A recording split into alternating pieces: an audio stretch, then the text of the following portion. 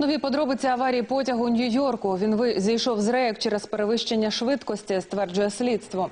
До різкого повороту біля річки Гудзон поїзд під'їхав зі швидкістю близько 130 км на годину, тоді як максимально дозволена на цій ділянці майже втричі менша. Жодних даних про несправність гальм самописці не зафіксували. Найближчим часом слідчі допитають машиніста і кондуктора. Нагадаю, аварія сталася 1 грудня. В результаті четверо людей загинули, понад 60 пасажирів травмовані. Коли я почув про швидкість, то заціпенів. Подих перехоплює навіть від самої думки про те, що потяг входить у поворот на такій шаленій швидкості. Це справді страшно.